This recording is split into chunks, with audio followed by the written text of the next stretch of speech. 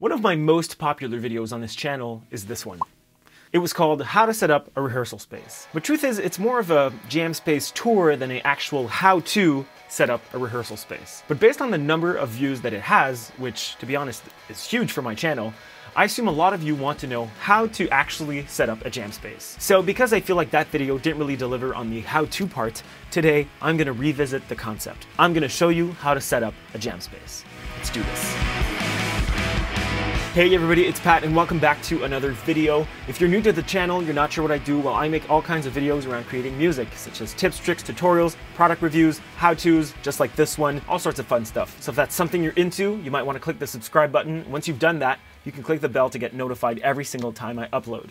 Hey, What's up? All right, so first things first, here are the subjects I'm going to cover in this video. I'm probably gonna make dedicated videos for parts of these, but if you have questions or comments or anything like that, leave them in the comments below and I'll answer your questions or make videos about those questions. I've also left timestamps as a pinned comment below, so you can skip to whatever part is more useful to you, whatever you wanna know right away. And finally, you can always watch the original video. There's a lot of useful info in there, and to be honest, I could probably use the watch time, but uh, I'm pretty sure that this video will be a better use of your time. So let's get going. Finding the right spot is crucial, but I can't really help you find the exact spot that suits you.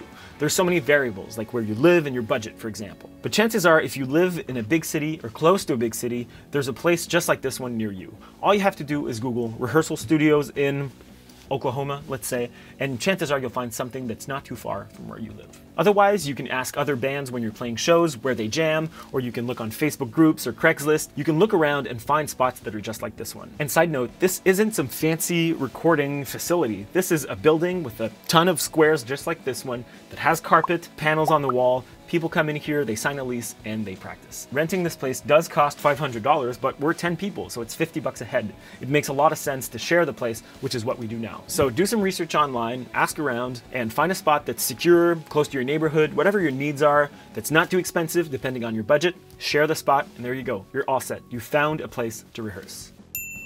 You're gonna want the place you rehearse in to sound relatively good. So chances are you're gonna have to treat it a little bit, but you don't have to go crazy. When I walked in here, there was already carpet, these wall panels, and a fresh coat of paint to boot. But not everybody's gonna be that lucky. Look, I've jammed in places that had concrete floors and paper thin walls. If that's your situation, just lay down some carpet, put some cheap wall panels on the walls, and you're good to go. By the way, I've linked some of my favorite how-to videos if you want to make your own wall panels. Actual band gear excluded, here are some useful pieces of gear I think a well-organized jam space should have. A storage shelf for merch bins, any unused gear, guitar cases, anything you want to store, put it all in the same spot. That way, the rest of the jam space can be used to practice music. Microphone stands. I think any jam space that respects itself has a bunch of mic stands for vocals or if you want to record your band while you're practicing. You can get some really, really cheap ones on Amazon. A whiteboard so that you can write song forms or set lists. If you have the budget, I recommend you get some mics and some cables so that that way you can hear yourselves and, like I said before, record your practices. Now, SM58s are a classic, but again, you can get some really, really cheap stuff on Amazon that will do the job for your jam spot. Power surge protectors, also known as just power bars. I have a bunch of these laid out in the jam space and it just makes power a lot more accessible for everybody. Good lighting. Whenever I'm here with a band practicing, I always turn off that nasty neon light. Instead, I've outfitted the jam spot with moody lights that are far better suited for some good jam vibes. A couch. Look, if you have the space, I really recommend having a couch in your jam space. It's just nice not to have to stand all the time. I used to have one, but I got rid of it for the next point in my list, which is a desk. Again, space permitting, I think any kind of work surface is really good to have in a jam space. That way you can mix, you can have your computer on there, you can listen to your mixes, write lyrics, or you just have a better surface than an amp head to put your beer on. So I recommend a desk. There are two ways to approach setting up your rehearsal space. Either you set it up so that everybody looks at each other or you set it up in a way that kind of replicates a live setting. I think both are great, and I actually tend to use both.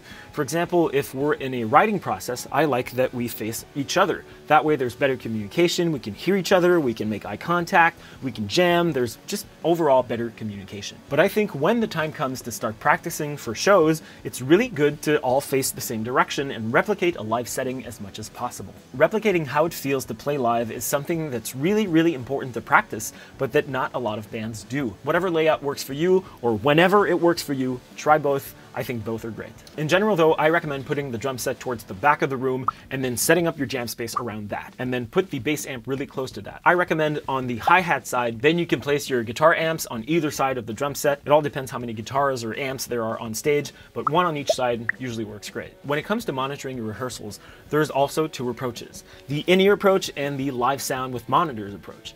And again, I think both are very useful. When you're in that sort of writing process, practicing together in a circle, I think it's great to have in-ears. That way you can talk to each other, you can stay sort of more quiet, you hear everything, given you've mic'd everything. But when the time comes to practice your shows and you're all sort of facing the same direction, that sort of live stage setup that you have in your jam space, why not just go a step further and have powered monitors and earplugs and really get a feel of what it's like to play live and not with your in-ears? Because chances are if you're playing live, in-ears are kind of a luxury. You're usually gonna have powered monitors or monitors on the floor or something like that. Again, it depends on your budget and your preference. You're free to use one or the other exclusively. I just wanted to give you both options and remind you that you can use one and then the other depending on where your band is in its rehearsal progress. If you're gonna go the in-ear route, you're gonna need the following. At least a few mics, a mixing console, a headphone amplifier, good extension mics, and a pair of in-ears. And those don't have to be fancy. There's really affordable stuff from Skullcandy, Klipsch, even Shure makes affordable in-ears, anything that just isolates sound. Now, I'm gonna make a whole video out of this, but here are the basics. Set up your microphones. I recommend prioritizing vocals, and then you can do drums, bass, guitars, whatever it is,